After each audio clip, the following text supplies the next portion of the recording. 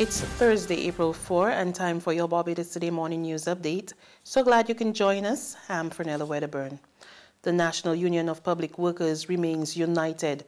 The declaration from the union's re-elected president, Akanni McDowall, moments after brushing aside three other challenges to reclaim the post in yesterday's election.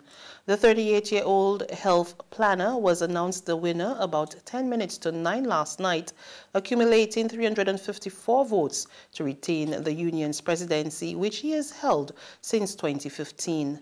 His nearest challenger, former First Vice President Fabian Jones, won 292 votes, while Verrill Scott and Joanne Innes totaled 237 and 193 votes, respectively.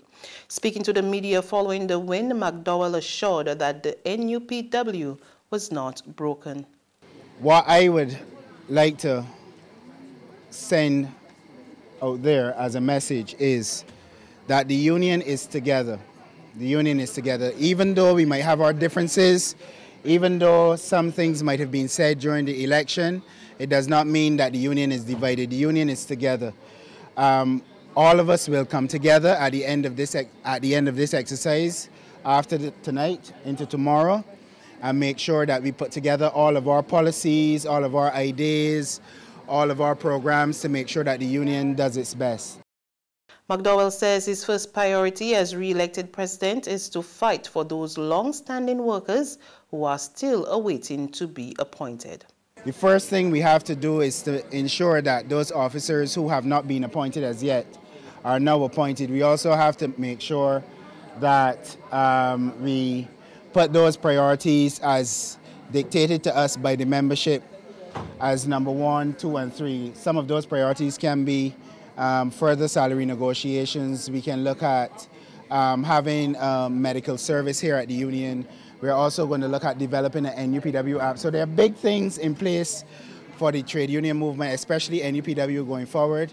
Um, but it is going to take a team effort, and I am sure that everyone here tonight is willing to work together to ensure that we achieve our goals. McDowall's entire team was not successful in their bids to win seats, while Kim Webster was voted in as first vice president and Charles Bostic was the overwhelming favorite for second vice president.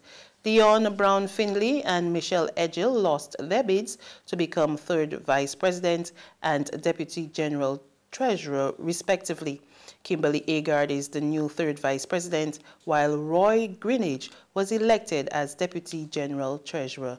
Pamela Humphrey was elected general treasurer. The Barbados National Oil Company Limited and the Barbados National Terminal Company Limited raked in the majority of profits of state-owned enterprises based on financials for over 50 entities as at December 31, 2018. Minister in the Ministry of Finance, Ryan Straughn, revealed in a ministerial statement in Parliament last night that the two entities posted profits of $71.17 million for the period.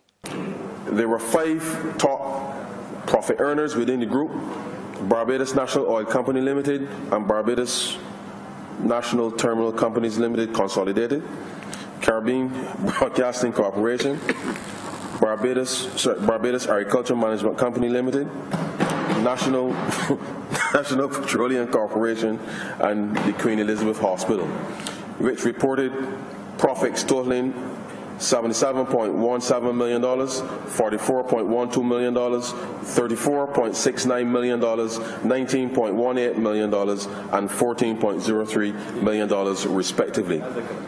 However, without including government grants and the write-off, only two of these five state-owned enterprises would have recorded their profit, namely the Barbados National Oil Company Limited, 2.14 million, and the BAMC, sir, 1.13 million dollars.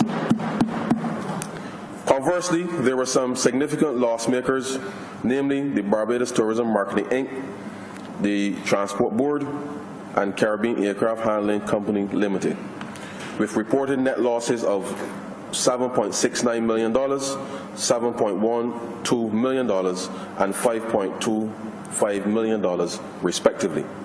One of Barbados's main egg producers wants clarification on the ban of single-use plastics.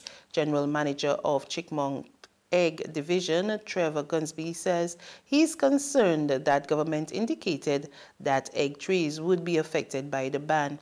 He says he will be seeking a meeting with the Ministry of Maritime Affairs and the Blue Economy on the matter. He says the company switched from plastic trays to recyclable material over 13 years ago. I would like to have the opportunity to make a presentation to make them aware of the product that I am using to pack my eggs, which is made from a recyclable material, which is not what you could consider plastic. At the same time, the general manager says the recently introduced garbage and sewage contribution tax will take a toll on the business. First of all, the, the water rates have doubled. In the meantime, you will have to pass it on to the customer. You will have to pass it on to the customer. But it depends. I mean, I'll be frank, based on the rates, when you consider rates, it's not a big increase. It may be a fraction of a cent. If it's a quarter cent, you can't pass it on. We'll have to absorb it. I mean, if it's three quarter cent, we'll pass it on to a cent. You got to go to the closest decimal point, right? I mean, if you got something that, that you, you have a price increase of a quarter cent, you don't pass it on. You absorb it. You become a little more efficient in order for Barbados to restructure and rebuild the economy, it must look at ways to tap into foreign exchange. And one of the ways that Agriculture Minister Indar Weir believes that can happen is through the island's rum industry. He made the comments last evening as Mount Gay Rum Distilleries announced its first female master blender, Trudiann Grosner. We have uh, the finest sugar crystals anywhere in the world, but do we tell that story? No, we don't. And as Minister of Agriculture and Food Security, I, I certainly intend to tell that story to the world. And then we have and can create the finest molasses, which is one of the inputs that you get going into rum.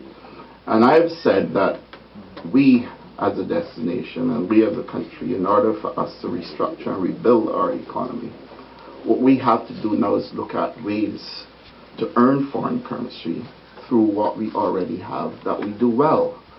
And if it is one thing we do well is produce rum.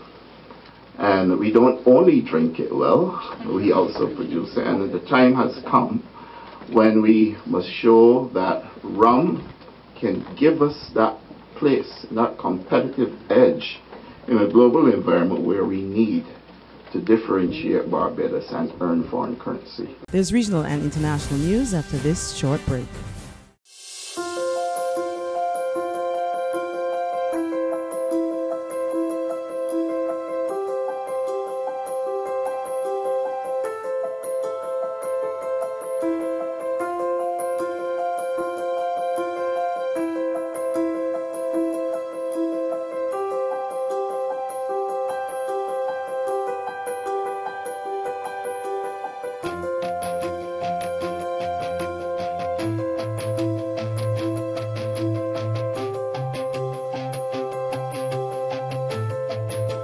Barbados Today, news you can trust. In news from the region, the Caribbean remains a major transshipment point for cocaine and marijuana destined for North America and Europe. That's according to the latest International Narcotics Control Strategy report by the U.S. Department of State. We get more of that report from HTS News Force. The report states that the geographic and jurisdictional diversity of the region represent major challenges to combating the illegal drug trade, adding that these countries do not have sufficient maritime resources to effectively patrol their entire coastlines. It says while traffickers use a variety of vessels such as yachts and cargo ships to transport illicit drugs, go fast boats are still popular, which enable traffickers to avoid capture by accessing multiple territorial waters. According to the report, all OECS countries have strong working relationships with the United States on drug control operations. It added that St. Kitts and Nevis has increased the size of its police force and opened a new forensic laboratory, while St. Lucia appointed a new drug squad commander in October 2018. In terms of drug supply reduction, the report states that during the first nine months of 2018, drug seizures in the Eastern Caribbean totaled 661 kilograms of cocaine and 9 metric tons of marijuana, according to data received from each country. And finally, British MPs vote by a majority of one to force the Prime Minister to ask for an extension to the Brexit process in a bid to avoid any no-deal scenario. The Commons passed the bill put forward by Labour's Yvette Cooper. However, it first needs to be approved by the Lords before it becomes law. The EU will also need to decide whether to grant any extension. The vote comes on the heels of Brexit talks between Prime Minister Theresa May and opposition Labour leader Jeremy Corbyn. And that's news. But for the very latest, visit our website at www.barbadostoday.bb. You can also subscribe to our e-paper email updates or like us on Facebook and sign up for our breaking news alerts via WhatsApp. We're also on Izumi Media in bus terminals, as well as screenplay at supermarkets and gas stations near you. And you can also hear us on Mix 96.9 FM and Capital Media HD 99.3 FM. I'm Fernella Wedderburn. Good morning.